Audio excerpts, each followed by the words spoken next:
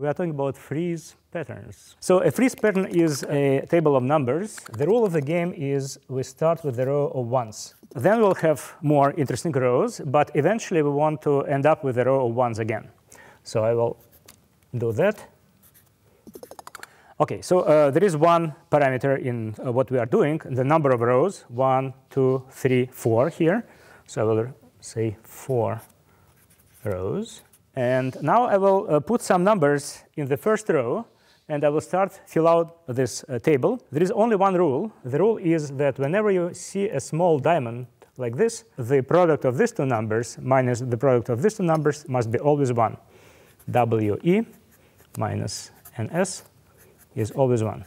That's the rule. OK, what I will do, I'll put some random numbers. Of course, they are not random, but at this point, you're not supposed to understand what they are in the first row. And uh, actually, the row is infinite. So I put the seven numbers, and then I repeat them. So it's seven periodic. OK, so it should be one, three, and so on. So now we are in business. Using this diamond rule, we can start to fill out this table. I will do it myself, but uh, Brady, please watch me. Let's see what should be here. The number here times 1 should be 1 less than this product. So 3 minus 1, this should be 2. Let's see. 1 times 3 minus 1 times 2 is 1. Perfect. Next one. Here, 6 minus 1, 5. This should be 5. 3 times 2, 6. 1 times 5, 5. 6 minus 5, 1. Correct. OK, here, 2 times 2, 4. I put 3 here, checking. 2 times 2, 4 minus 1 times 3, 3. 4 minus 3, 1. OK. OK. Here, 1, 2, minus 1. Here, 3. 4 minus 3. Here, well, this is a big one, 7. 4 times 2, 8 minus 7, 1. Here, 2, 1, 1, 1. Uh, 1, 2, 3, 4, 5, 6, 7. Uh, this will also repeat because the first row repeats with period 7. So the next one should be 2. So, so far it's been good. We got nice, we got integers, no fractions, nothing. Yes, I want to point out that a small miracle has already happened. So if you look at this rule, this compass rule, uh, if you know three of these numbers, you can always solve for the remaining one. For example, suppose you know W, E, and N, and you want to solve for S. So what is S? S is W, E minus 1 over N. We subtract and we divide. So there is no chance in general that we'll stay within positive integers. Uh, we divide, so in principle, there should be fractions. Yeah, what we should expect in general, if we put uh, rational numbers in the first row, everything inside should be rational. But I put positive integers, and so far I stay within positive integers. That's already uh, strange. All right, so let's uh, do hard work. Uh, what should we put here? 10 minus 1 divided by 3, 3. 10 minus 9. Uh, what should we put here? 15 minus 1 over 2, 7. Here, 3 minus 1, that's 1. Here, 2. Here, 21 minus 1 over 4, 5. 7 minus 1, 6 over 2, 3. Here 1, 1, 2, 3, 4, 5, 6, 7. Uh, it should be periodic, so the next one must be 3. The miracle continues. The miracle continues, you're right. And um, you won't be surprised that it will continue to the end. So two more miracles we expect. Uh, we expect positive integers in this row, and we expect these ones to satisfy the compass rule. OK, so uh, let me do it a little faster. That would be 4 that will be 2, that will be 1, that will be 3, uh, 2, I guess, uh, 2, and uh, 1, and it should be periodic, so the previous one, just like this one. And finally, I hope it all works. 4 minus 3, 1, 8 minus 7, 1, 1, 1, 1, 1, 1, 1. Yes? So you filled the sandwich perfectly and you only used integers. Uh, right. So you start to wonder what's going on. Did you choose magic numbers at the start? Well, certainly, certainly the numbers were not random. If you change anything at all randomly, it will break completely. The secret uh, has a name. It's a theorem. It's due to two famous mathematicians, uh, one of them, unfortunately, not with us, another alive, Coxeter and Conway. John Conway, uh, who is a character in your movies. I'm not going to worry anymore, ever again. I was going to study whatever I thought was interesting. So the theorem explains this phenomenon and actually gives a complete description, complete classification of frieze pattern which consists of positive integers.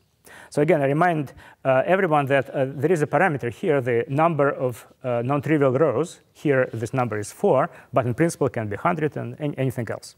So the theorem is not one theorem, but infinitely many theorems, one for each uh, parameter. To explain what's going on, I need to draw a polygon which will have seven sides. I will partition this heptagon into triangles. I will triangulate it by its diagonals. I will draw this diagonal and this diagonal and maybe this one and possibly this one. Okay, so now we have five triangles which make this heptagon and I will write numbers at every vertex and the number is the number of adjacent triangles. So for example, this vertex has exactly one triangle adjacent to it, so I write one here. This vertex has four triangles, so that is four. This one has two, one, three, two, and 2. Okay, now we have seven numbers. If you examine this first non-trivial row, you will recognize these numbers starting with this one, I guess. 1, 3, 2, 2, 1, 4, 2. And then we repeat it. Okay? So this shape gave you your numbers? Yes, exactly. And the brilliant, beautiful theorem of Coxeter and Conway says that this miracle will happen every time. Given an n-gon, we triangulate it by diagonals any way we want. It's an interesting question how many ways. I'll say something about that and we put uh, the numbers of uh, triangles adjacent to every vertex around the polygon. And now we create the first seed row, which will be n periodic. Here it was n was 7. And we put these numbers in the row uh, with period n. And then we start to fill out our uh, table using the compass rule. So the claim is that after n minus 3 non-trivial rows, which all consist of positive integers, we'll again have row ones. So that's when you get back to the ones after exactly. n minus 3. N, n minus 3, yes. So that's a way to construct a frieze pattern consisting of positive integers of width n minus 3. And the theorem is that they all are obtained this way. So it's a one-to-one -one correspondence. If we start with the square, this gives us period 4 in horizontal direction and width 1. Pentagon gives us 5 periodic uh, pattern uh, with 2, hexagon 6 periodic with 3, heptagon we already saw, but you can go uh, to higher. Well, probably there is not enough room for here, but it works for every n. Maybe we should start with a square. There are exactly two ways to triangulate it by diagonals. This is one way, and this is another way. And although one is obtained from another by rotation, we consider them as different. So there should be two different frieze patterns of period 4 and width 1, corresponding to these numbers, which are 1, 2, 1, 2, and 2, 1, 2, 1. Not very interesting, but it works. Reality check. Pentagon has five different triangulations by diagonals. They all look the same because the numbers which we write form the same sequence 3, 1, 2, 2, 1. But again, we consider this triangulation is different. So there are five ways to do it.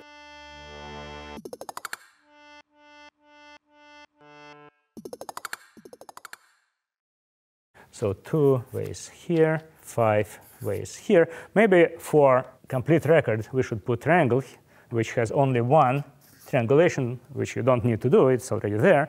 And the numbers, of course, are one, one, and one. Hexagon. Hexagon already takes some work. So this is one possibility. This is a different uh, kind of pattern. I guess there is one other combinatorial pattern like so. That's going to start giving us quite different numbers, isn't it? Uh, that is correct.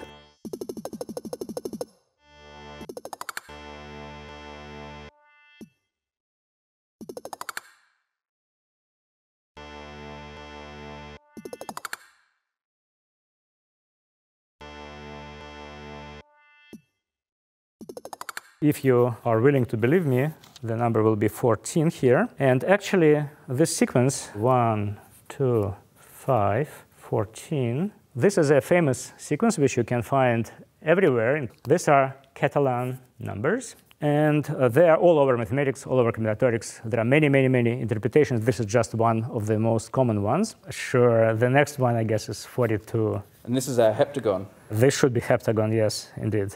So does that mean as, as our polygons get bigger, they, they'll give us different families of our frieze seeding numbers? That is correct, yes. The first uh, row will depend uh, on n as in n-gon, so it will be n periodic, and on the triangulation. Different triangulations give us uh, different seed uh, rows. So but if I want to make a four-rowed sandwich here, okay. one of these four-row sandwiches, obviously I have to use a heptagon. Correct. But I will have different ways to see that depending on how I triangulated my heptagon. Exactly right, exactly right. So uh, in this example, we chose one particular uh, triangulation, but for example, you can choose one of the diagonals, let's say this one, erase it, and replace, for example, by this one, and that will be a different frieze pattern, different triangulation. The numbers will change as well.